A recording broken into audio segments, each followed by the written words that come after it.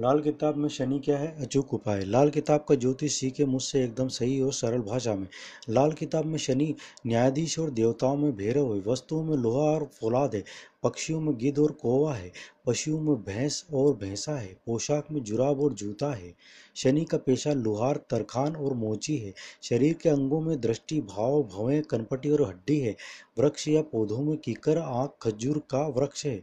वायु दिशा के स्वामी शनि की जाति क्षत्रिय और गोत्र कश्यप है। शनि का रंग श्याम और नीला है। कहीं कहीं ये राहु अर्थात काले रंग का भी हो जाता है। शनि की सिफत मूर्ख, अक्खड़ और कारीगरी है। इसके गुण देखना, भालना, चालाकी, मौत, बीमारी आदि है। इसके अलावा जादू मंत्र देखने दिखाने की शक्ति। मकर और कुंभ का स्वामी शनि तुला में उच्च और महेश में नीच का होता है, जबकि ग्यारहवा भाव इसका पक्का घर है। बुध, शुक्र, राहु इसके लिए सूर्य, चंद्र, मंगल और शत्रु और बृहस्पति ग्रह श्रम है। कुंडली में बृहस्पति और शुक्र मिलाकर केतु, मंगल एवं बुध मिलाकर राहु बन जाते हैं। शनि का सूर्य के साथ होना मंगल बद एवं नीच का राहु। मंगल शनि का मंगल के साथ होना उच्च का राहु होता है। शनि का चंद्र के साथ होना नीच का केतु, के शुक्र के साथ होना उच्च का केतु होता है। शनि को पसंद नहीं, जुआ, सट्टा, शराब, ब्याज, पर स्त्री गमन अप्राकृतिक कृत्य झूठी गवाही, निर्दोष को सताना, पीठ पीछे, षड्यंत्र रचना आदि।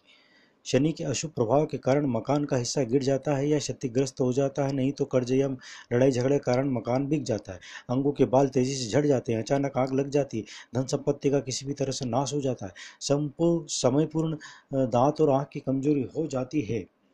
ज्योतिष को जानेंगे तो संकटों से दूर रहेंगे।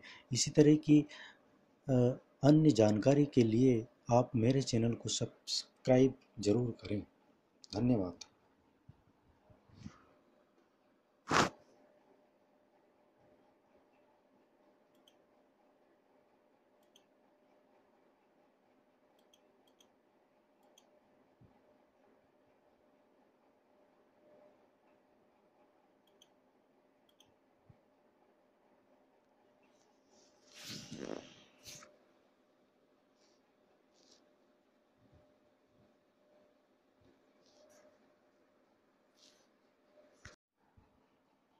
लाल किताब में शनि क्या है? अचूक उपाय। लाल किताब का ज्योतिष सीखे मुझसे एकदम सही और सरल भाषा में।